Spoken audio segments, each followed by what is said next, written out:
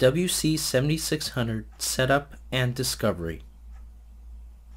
Hi everybody, today we're going to demonstrate how easy it is to perform initial setup and access point discovery on the Netgear ProSafe WC7600 Premium Wireless Controller.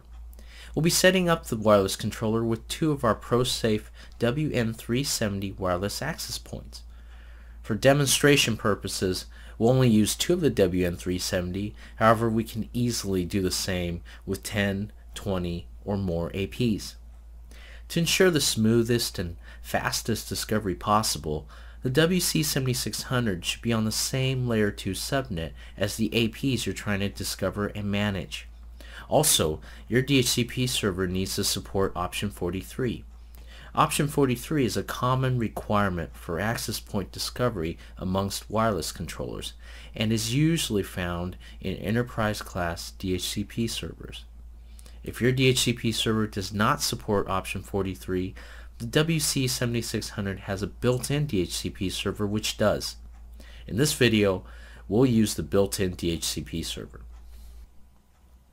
By default, the WC7600 has an IP address of 192.168.0.250. Since my network and your network does not necessarily reside on that same subnet, we'll need to log into the WC7600 and manually give it an address on our LAN subnet. As for the wireless access points, they'll obtain an IP address from our DHCP server by default, so all we need to do is to plug them into a PoE switch or power outlet. It's worth mentioning that the WN370 wireless APs used in this demo are powered by PoE only. So the first step is to change the IP address of my PC so that it too is on the 192.168.0 subnet. For the sake of time I've already done that so we'll just go right on ahead and open up a new browser window.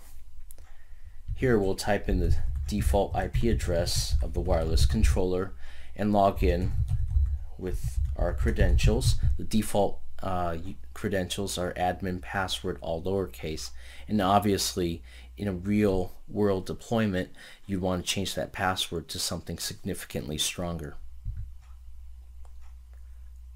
Once we're logged in, go to the configuration tab and then select the IP slash VLAN menu item. Here, we'll give the WC7600 its new network settings. Obviously, your settings may differ from what I use here.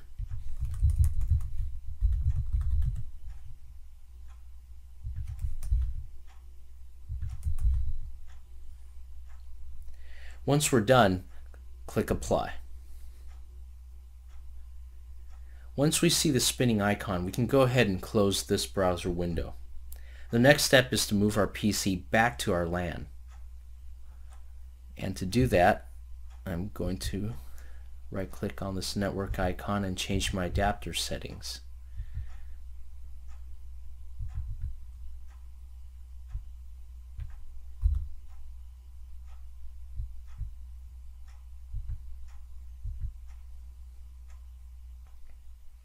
Now, let's open up our browser window and log in again.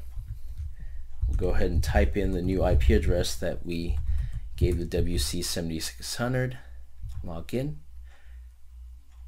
Next, we're going to go ahead and enable the built-in DHCP server. It's worth mentioning that uh, before you do this, it's best to turn, turn off your existing DHCP server, otherwise you may get some unwanted conflicts. Go to the Configuration tab and then select the DHCP server menu item. Once we're here, click on the Add button and we're just going to go ahead and enter in our DHCP server settings.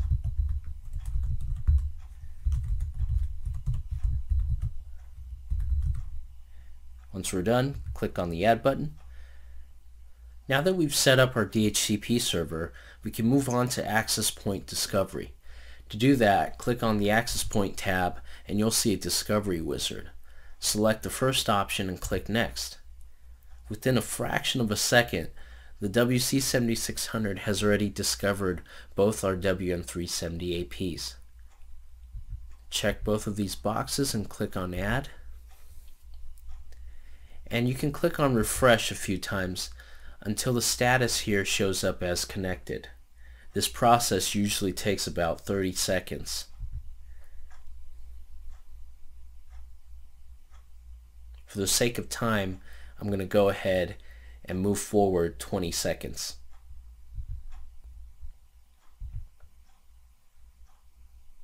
The status now shows connected and that's it.